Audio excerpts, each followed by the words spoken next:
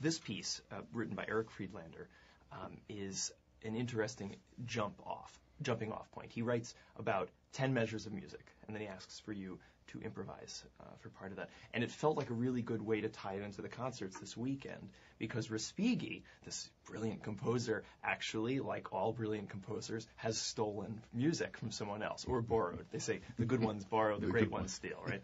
um, and this he steals from an old hymn called "O Come, O Come, Emmanuel." And uh, maybe I could just play that sure. hymn for a second. Yeah. Um, so the the hymn goes. Um,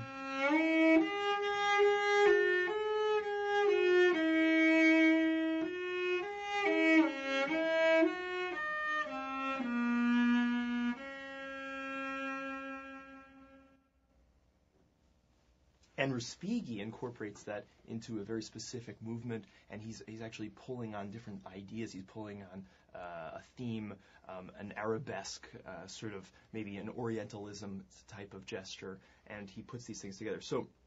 I'm going to play this piece by Erik Friedlander, and I'm going to incorporate that theme sort of as part of the improv section. Uh, so, shall I jump or shall I? Have at it. Jump okay. right in.